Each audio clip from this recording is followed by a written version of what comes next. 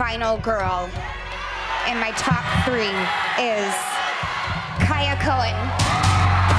Congratulations, Khaya. She makes up Demi's top three. I'm so sorry, but let's hear it one more time for Danie. Thank you so much, Danie.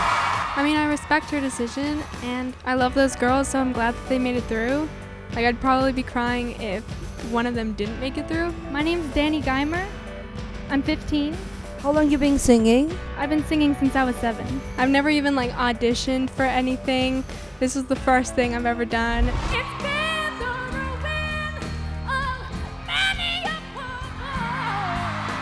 With like the help of all the supporters and stuff, it's kind of motivation for me to keep going.